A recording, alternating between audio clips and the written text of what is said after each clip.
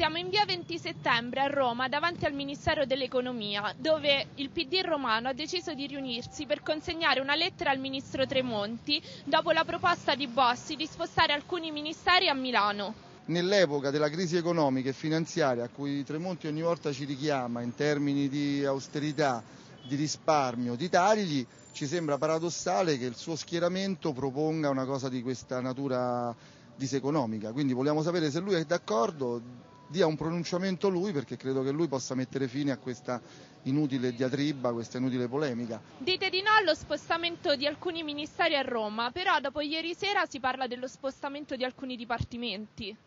Beh, è difficile capirci in questa cosa, capiamo che è un tentativo disperato per guadagnare un po' di voti al nord adesso che c'è il ballottaggio a Milano, ma francamente non dobbiamo nemmeno sottovalutarle queste cose, perché noi dopo il ballottaggio ricordiamoci che ci avvicineremo alla scadenza delle politiche e Bossi purtroppo ricatta. Che la Lega voglia ministeri al nord non è una novità, in particolare vorrebbe proprio quello dell'economia, perché il trasferimento di alcuni bracci dell'esecutivo, dicono, è fondamentale nel processo di realizzazione del federalismo. In uno Stato federale è anche giusto che lo Stato si avvicini di più alle realtà locali. Guardi, per avvicinare lo Stato intanto bisogna fare le cose a favore dei cittadini, ma poi noi abbiamo molte istituzioni che se funzionano, abbiamo i comuni, abbiamo addirittura nelle grandi città, abbiamo eh, le, i municipi, abbiamo le province, abbiamo le regioni, vogliamo creare altre per avvicinare i cittadini allo Stato? Le istituzioni ce ne sono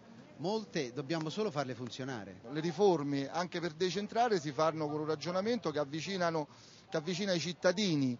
al, al, livello di decisione che i territori devono assumere e non con mere operazioni che spostano diciamo, qualche ministero in qualche, perché questo consentirebbe poi a dire che magari si è più distanti eh, come cittadini di Roma dalle scelte che fa un ministero, non è quello il tema.